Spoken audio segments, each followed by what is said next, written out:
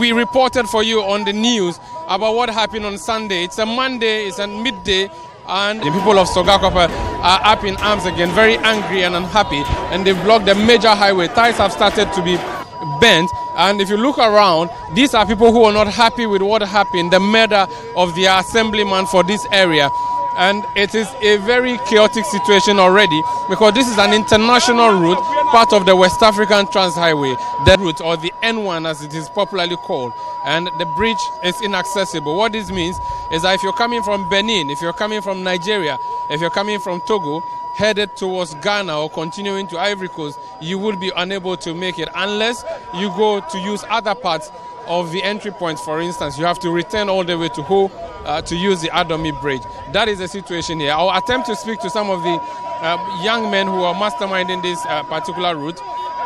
Now, what is happening here is that this hearse uh, is attempting to move through, uh, taking a corpse, I should believe, uh, with a siren on. But these people would not agree. let me move close and hear what is happening, why they will not allow it.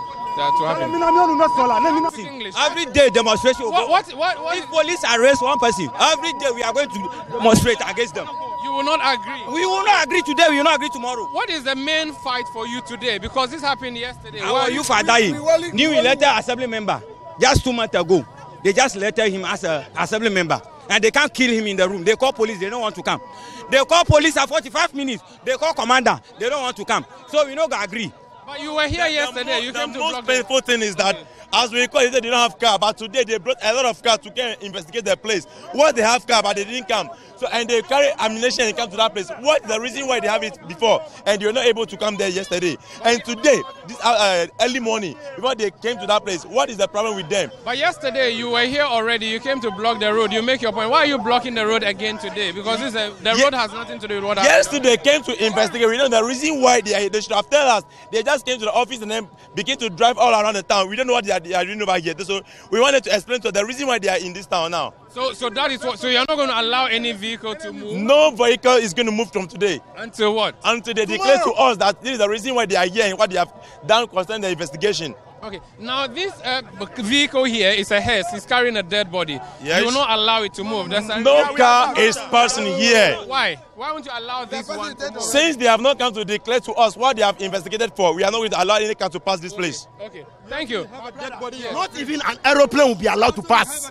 Not even an aeroplane will pass. But, but what? But, but Seriously, what, what, no aeroplane will pass. Okay. This thing has been going on for so many months and years now. The reason is our police here in Southtown, Sogakope particular, they are not effective. Every week you hear that they shot somebody or armed attack somebody and there is no investigation. Today we heard that the regional minister is in town. They said they are doing press conference. Press conference doesn't bring us any solution. No clue, nothing. From today we are going to block this barrier to further notice.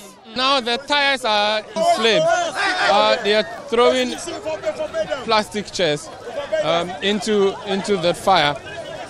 Uh, the heat, the heat is becoming unbearable now. Um, but the idea is to make a point, and the point is that uh, they, they, they expect the police to come and answer questions. Why they did not attend to them on time when the assemblyman was being killed?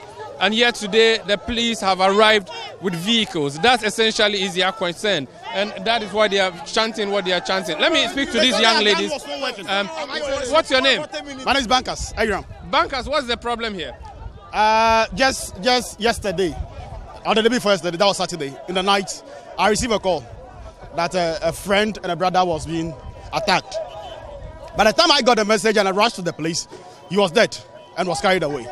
But my information was that the police were called. He's a good friend to the commander, the district commander. He bought items for the district uh, divisional commander, I suppose. This guy is a very good committee member. Comboni Hospital, every birthday of his, that is November, November 27th or so, he buys items for for the. Uh, okay, um, I, I need to uh, quickly just say that um, th- this is looking a bit crazy now. Um, plastic chairs are being held into the, the, the, the blazing fire. The people here are very unhappy uh, with the death of the assembly member, and they have decided to show that anger by doing what they are doing. Uh, which is first of all blocking the road. And if you look in front of me, all the vehicles that were moving from Accra or from Ivory Coast or wherever in the western part of Ghana towards the eastern part uh, have been prevented from moving. Uh, what this means is that access to the neighboring Togo, access to Togo and the Volta region uh, would be impossible unless you had to reroute and use the Adomi Bridge, uh, which is a longer journey. Now, these people would have none of it, despite the fact that there's heavy police presence in this community. They will not listen. I'm going to go in and uh, see if I can speak to a few more people and possibly observe what is happening. Well, the smoke is thick. The tires are burning. The roads have been blocked. The vehicles are stationary. The people are rowdy and angry and unhappy. Nearby, though, is a police post. Let me attempt to see if I can get a comment or two. Um, hello, officers. Can I speak to anybody? I'm from Citi FM. Um, my name is Umaru Sanda. Um, our, our commander is on That's what we've seen. Mm-hmm. Yes, but you, I was expecting you to be able We to. are not the best person to. Yes. Okay. If you want to enter and they will destroy. Who can who can I speak to? Where is your commander? Ah, they are the meeting at the. Yeah. They are with the regional minister. Okay, so you can't do anything about it. All right, thank you so much. Um, now the the, the police station. Uh, let me just check. Uh, is there's a police post here, uh, but there's no one in there. And and just let me just quickly show you. When I turned around, attempting to speak to these uh, police officers, a storm just moved in here, and they are not happy uh, with the fact that I've been attempted to come to the police station. Now, this is a crazy spectacle. If you just uh, uh, could see, the gentleman here is attempting to prevent people. They will not allow any police officer to speak. On the other side, there's a scaffold ongoing. Uh, this scaffold, I am not sure what it has to do uh, with. Uh, th- these are these are people who are. I'm not sure what the scaffold is all about. Uh, struggling to. Uh, I'm not sure whether they want to take the bench of the police bench to put it in the fire. Another group that would not agree to that. Uh, what this means is that the group is divided. Uh, there are some who are against vandalism. Of course, there are others who are interested in just destroying. It seems the uh, the reasonable group has, has won, and um, well, stone has just been held at the at the at the at the window of the police, and there are others who are preventing uh, these people from going the way they want to go. Uh, it must be a very chaotic scene. It is very boring. They called them, it took them about 45 minutes. The people they were breaking the door for 45 solid minutes to one hour before they were able to break the But door. yesterday, when, they, when we were gathered here, and they called police from Togo, now I was, I was told that there was police from Accra that went to help in the elections. They called them within less than 45 minutes. They arrived from Togo down here.